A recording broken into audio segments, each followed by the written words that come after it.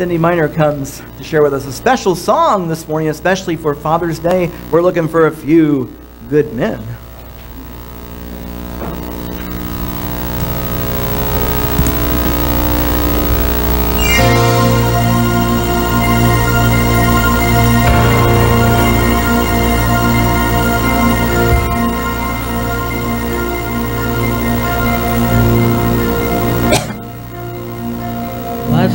Dying world could use is a willing man of God who dares to go against the grain and works without applause.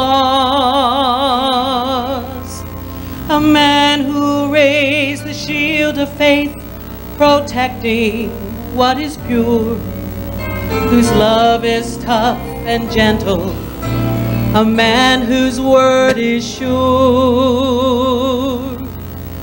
God doesn't need an orator who knows just what to say.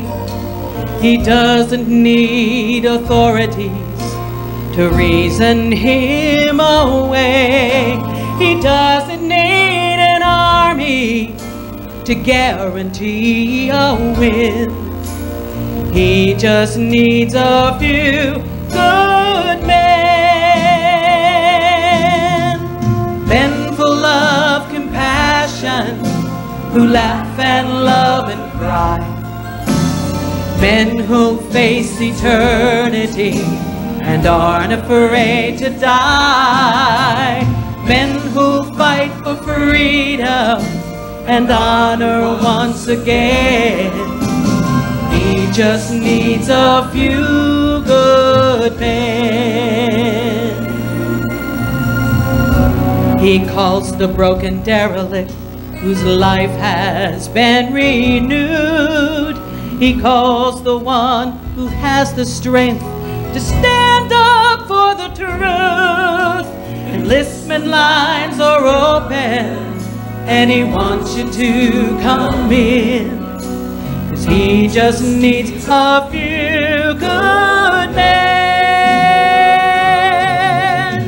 Men full of compassion, who laugh and love and cry.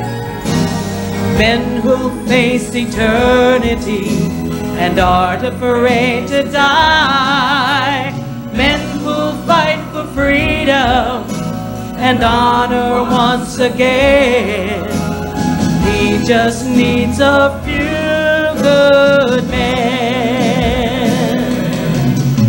Men full of compassion, who laugh and love and cry. Men who face eternity and aren't afraid to die.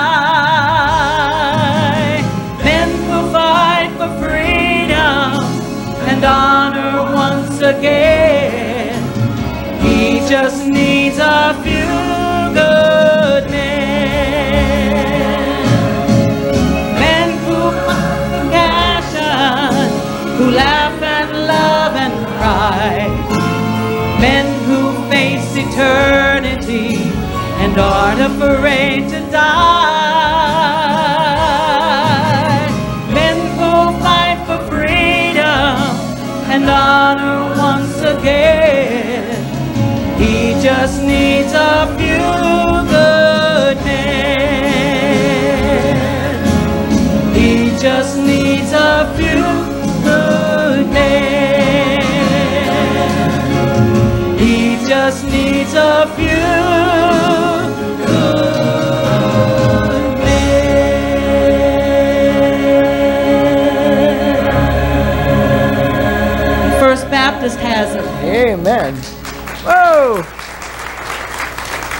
We're in a series of sermons where we're looking at the Ten Commandments, and we're going to do something radical today. Are you ready for radical?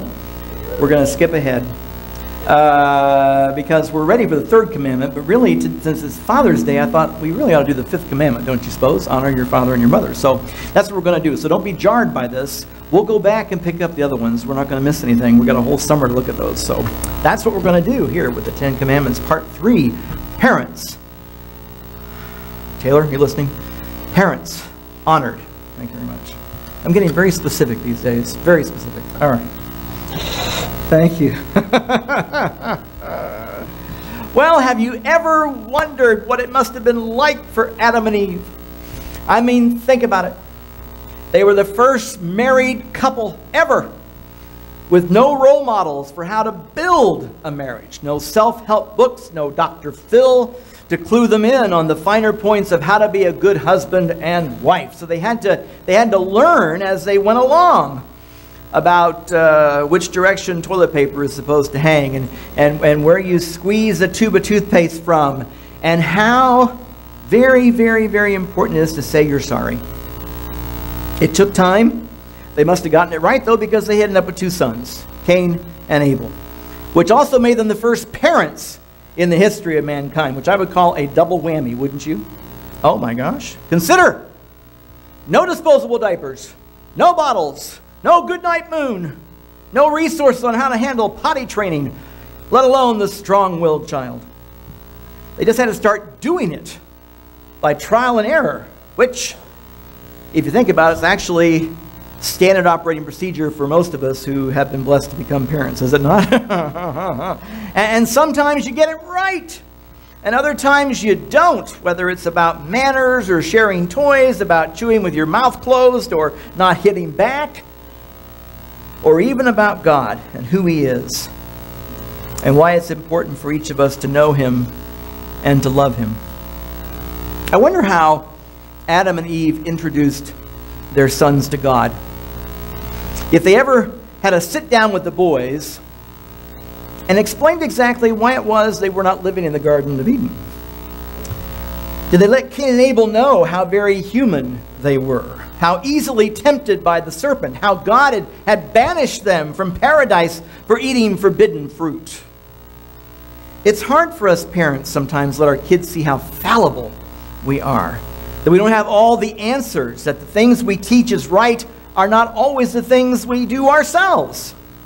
Of course, I hear eventually your kids figure all that out about you, but it gives us pause for consideration, doesn't it?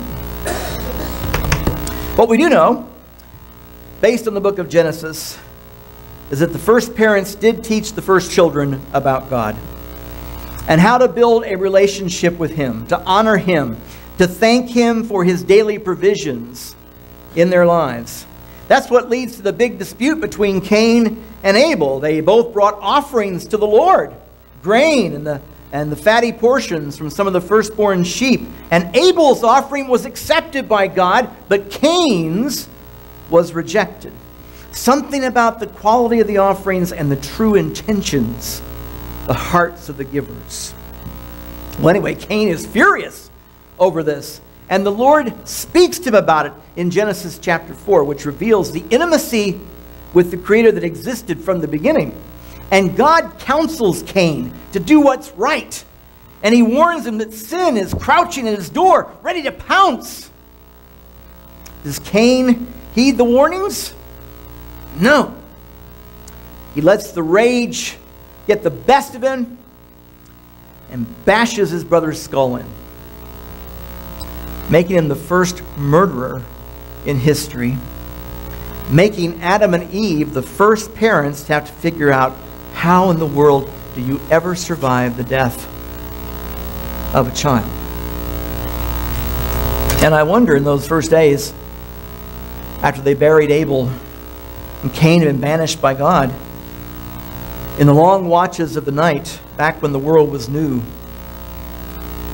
if that first husband and wife played the blame game, beat themselves up because they took Cain's pacifier away too soon, or, or let him stay up too late playing video games instead of obeying the, the bedtime curfew. Did Eve ever say to Adam, if only you'd hug Cain more and spanked him less? Did Adam ever say to Eve, if you hadn't listened to the serpent, we wouldn't be having this conversation? Grief can make you say terrible things sometimes. No doubt it gnawed away at them. They must have, they must have failed somehow. Even back then, they sensed it. I mean, isn't it always the parents' fault? Truth be told, a lot of times it actually is our fault, uh, yours and mine. Because every parent from Adam and Eve on down, is a sinner, a fallen creature, telling our kids that they are not the center of the universe while secretly believing that somehow we are. Let's face it, we fumble the ball. I Googled, I do that, you know. I, I'm very technologically savvy, actually. I Googled the top 10 mistakes parents make. And some of them, some of them really hit home. We often overindulge our children. We give them too many choices. We lay down rules that we do not enforce. Uh-oh. We fail to spend quality time with them. We catch them being bad, but overlook them being good. We may be overcritical of our children, comparing them unfavorably with siblings or friends. We may shame them or, or blame them into submission and then wonder why they end up stressed and depressed. Did you recognize yourself in there somewhere? Uh oh. It isn't that we don't get a lot of things right, we do. It's just we also get a lot of things wrong. And it can cause problems sometimes. But here's the good news. You ready for good news over here in the overflow room? Yep! the good news is that God knows all about our, us parent types, and He loves us anyway. He's been dealing with flawed parents since Adam and Eve, since Rebekah favored Jacob over Esau and caused a huge family divide, since Jacob favored Joseph over the other boys and nearly led to fratricide, since David went light on his sons who needed a firmer hand and nearly lost his kingdom over it. All the way down to you and me. Not only does God still love us, but He also chooses to elevate us in our positions as parents. Indeed, He makes how we are to be treated by our children an actual commandment. It's in the top 10 for Pete's sake. Last week we looked at the second commandment about not making idols to worship. No golden calves, remember? And as we talked about that in my Sunday school class afterwards, it's interesting that the, that's the only commandment that comes with the promise of punishment if it's broken. The only one. None of the others do that, not even, not even murder. But today in, in the fifth commandment, this one turns out to be the only one that comes with a specific promise of blessing if it's kept.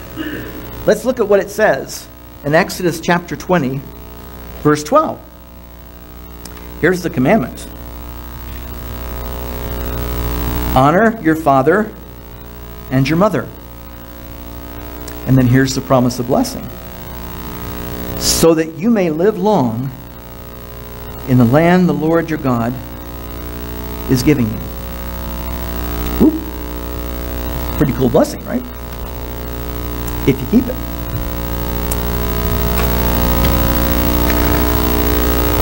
Now, why do you suppose God sends parents apart in the commandments for special honor and respect?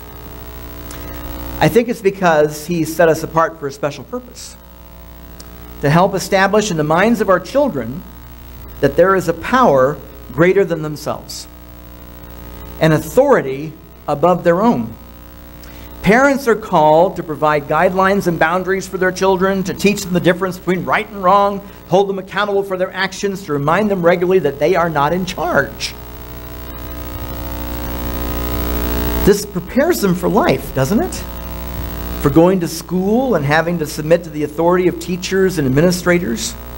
Gets them ready to head out onto their career paths where there will be bosses and supervisors. But most importantly, it paves the way for our children to understand what it means to be in a loving relationship with God, the Heavenly Father. The call to submit their wills to His will, to embrace His rules rather than making up their own for their own good, just like they must do with us, their parents. This was the assignment God gave to the parents of Israel while the commandments were still warm on the tablets. He speaks to them directly about it a message which is recorded in Deuteronomy chapter 6, beginning at verse number 4. Deuteronomy chapter 6, verse 4. Right after the Ten Commandments have been given, this is what God says Hear, O Israel, The Lord our God, the Lord is one. Love the Lord your God with all your heart, and with all your soul, and with all your strength. These commandments that I give you today are to be on your hearts. Impress them on your children. Talk about them when you sit at home and when you walk along the road, when you lie down and when you get up. Tie them as symbols on your hands and bind them on your foreheads. Write them on the door frames of your houses and on your gates. Comprehensive, isn't it? So, part of what parents do to help their children learn about God is to keep His commandments, His expectations, ever before them, to live them out so our kids see the impact they've had on us. So they see what it means when it says we aren't supposed to tell lies or take things that don't belong to us or worship our possessions more than we do the one who provides them. The commandments teach that adultery is forbidden. Parents are called to live that out in front of their children by keeping their vows to each other as husband and wife, by keeping them pointed upward, even if the morals of society or current trends or popular ways are all going south. This is what God commands us to do. And children are to honor us because of it. Of course, that's not all there is to it. It's certainly about creating an awareness of an authority in their lives. That's essential. But it's also about living out in real time how much God loves them. Using our arms to stand in for His, to reach for them, to hold them close, to lift them up on our shoulders, delighting in the sheer wonder of them.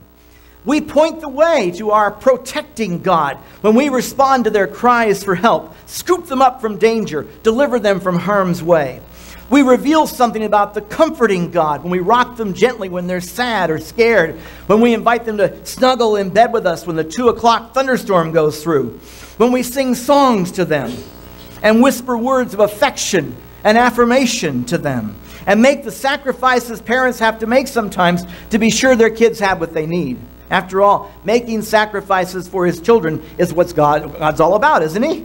Making the ultimate sacrifice of his only begotten Son, that all who come to know him as Lord can be free. Jesus himself notes the role fathers play in helping their kids know who God is and how much he desires to bless them.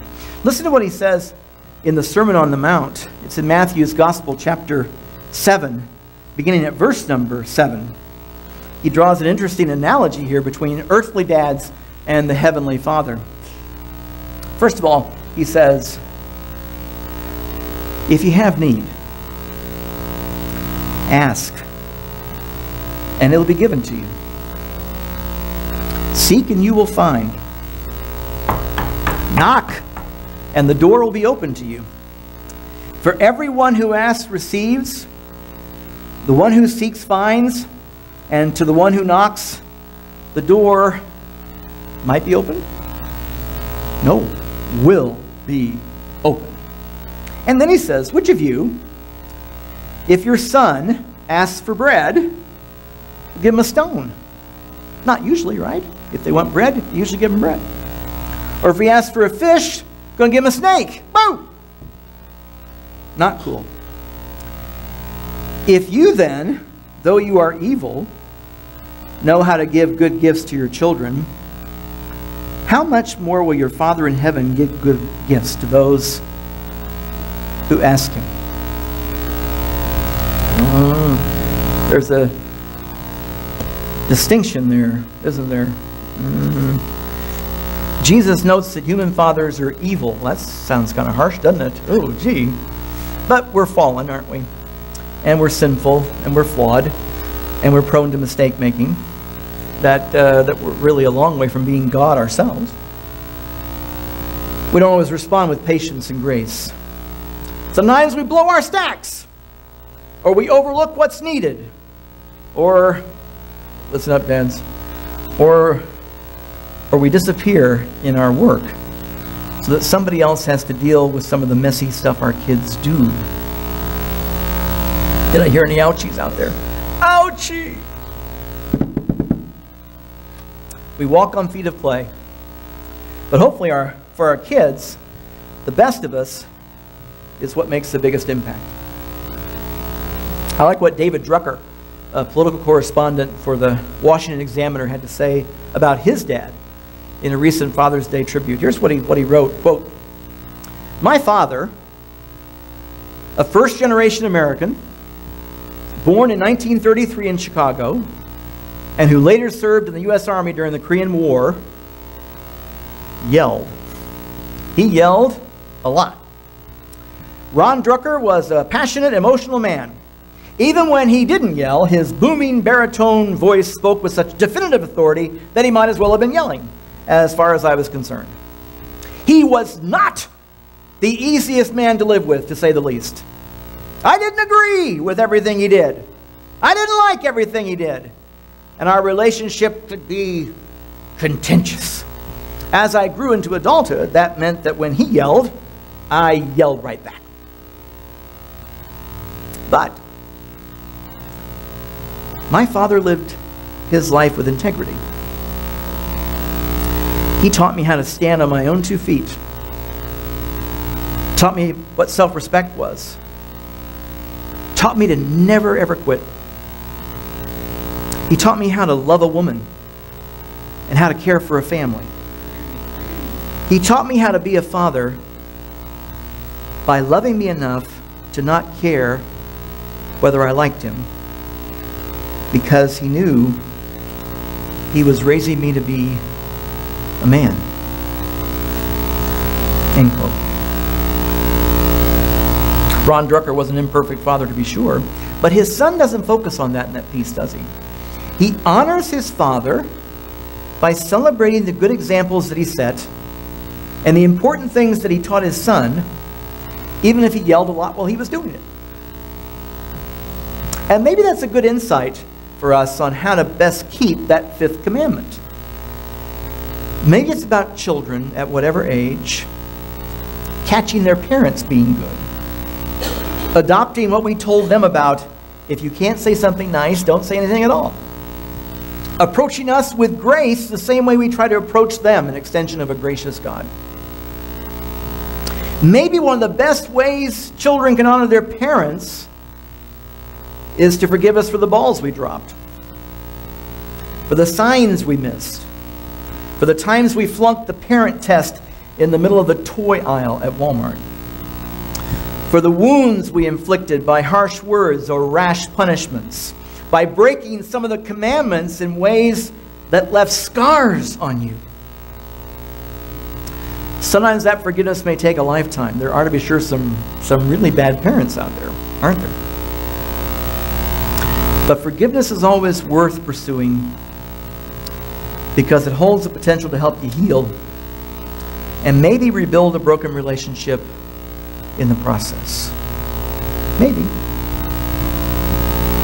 Maybe kids can honor their parents by taking care of them when the need is there. We parent types are often living to ripe old ages these days. And stuff that used to work in our minds or our bodies may not work quite so well. At some point, we may need your help, the way we helped you when you were weak and vulnerable. I look out in our congregation and I recognize we have many adult children who are doing an amazing job caring for aging parents. And, and thus are they keeping the fifth commandment well and being a good witness to other adult children in our midst. And perhaps, here's my theory. You ready for my theory? Write this down. Nobody picked up a pencil? I mean, I don't know. Elaine's got her. Elaine's taking notes for you people. See Elaine after the service. Perhaps we have so many folks in our church who are living to be in their 90s and beyond because they too did a good job keeping commandment number five. After all, it does come with that promise, you know, the one about living a long life in the land the Lord gave. And that's something for all of us to think about as we ponder the Ten Commandments today. As we ponder what it means in our own lives to respect, to value, to honor our father and our mother.